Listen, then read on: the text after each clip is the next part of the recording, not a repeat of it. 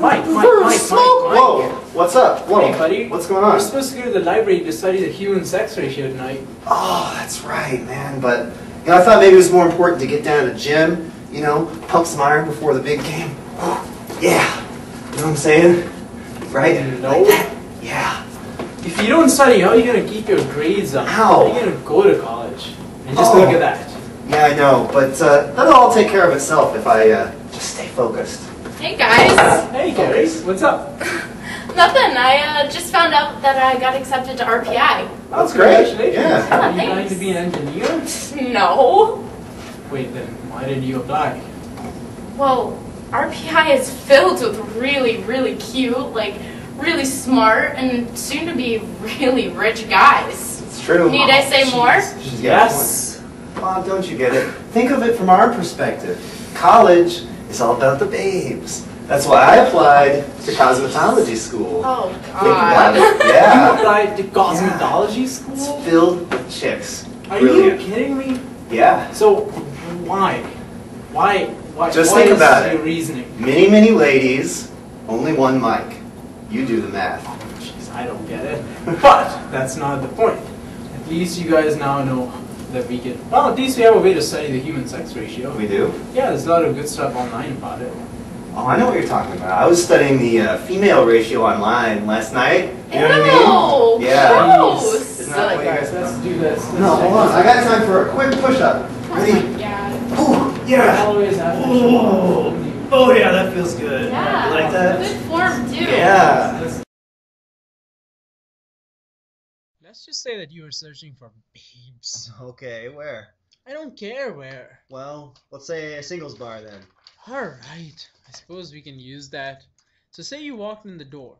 What would you hope to see? Well, I would want to see this instead of this to increase the chance of this. Grody, er. Will you guys stop it now? As I was saying, Gary, you on the other hand would. I would want to see the exact opposite ratio. Exactly. From an evolutionary perspective, the greatest advantage for passing on your genes is being a member of the minority sex. Now imagine that you wanted to have kids. What would put them at an advantage? Well, being fem- female would give them an easier time finding a mate when they grow grow up because there are so many more men than women.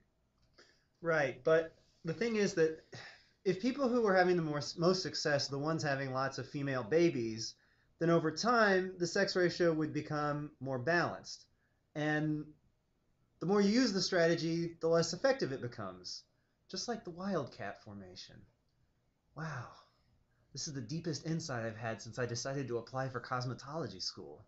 You're absolutely right on both counts, Mike. but there is one other thing. Why would something like this ever happen? I mean, women can't just magically start having more girls, no matter how good of a strategy it is. You're right, Mike. But if a woman was lucky enough to have a mutation that caused her to have more girl babies, she would be nat- she would naturally do better, even if she didn't realize why. That mutation would get inherited by her kids, and the end result over many generations would be a balance between the number of males and females, because as the number of females increased, it would be less advantageous to have female kids. Okay, I think I understand it.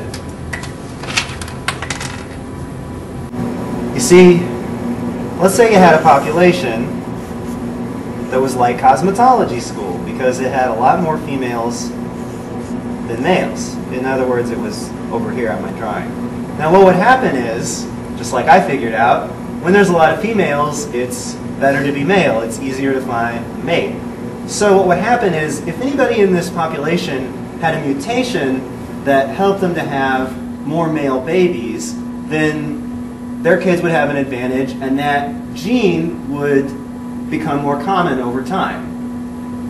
Right. That's called evolution by natural selection. So once that gene was being selected for because it gave the people who had an an advantage, more people would get it and more male babies would be born, and so the population would start to move this way. And the funny thing about it is that the more people who use this strategy, the less well it works. The whole reason that it was good in the first place was because there were so many females. But the more people use it, the more males are born. So it doesn't work as well as it did when you started. Yeah, and that's density dependent selection. Okay, density dependent. Because So, the denser the trait, the less advantageous it is to have. right. And when it would really start to slow down was right around when you came to the middle, because right at the middle, there's no more advantage in being male. That's and That's the equilibrium point. Right, the equilibrium point. Because if you had the opposite situation, like RPI, where you have a lot of males, then the, it would tend to evolve this way. The exact opposite thing would happen. So the equilibrium point is where it's stable.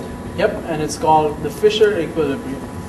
Fisher, huh? Yeah, Why is that? because you don't pay attention in biology class. Come on, why is it called Fisher equilibrium? Because a biologist named Fisher came up with the idea. Oh, well, that's simple enough. Whoa, I'll tell you, I am dehydrated from pumping iron with my brain muscle. Your You know brain I'm muscle? about, Yeah. The brain is not a muscle. Mm. How many Look, times if you you have can realized exercise it, last it's a muscle. in you? That's what I say.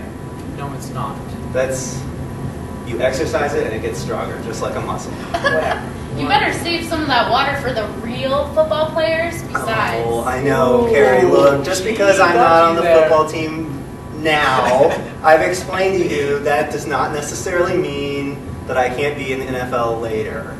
Yes, It's, it uh, does. If you've not been playing football, Okay, well, have you ever heard of Pierre Garcon, who went to a Division three school and is in the NFL now? yeah, but That's a lot like cosmetology school.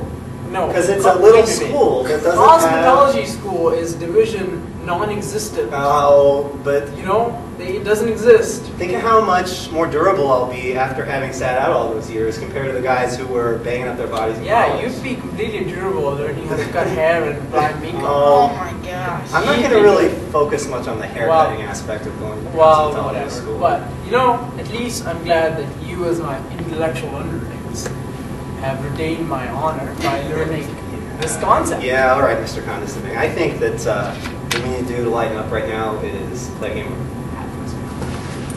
What? Go, go, go! Missed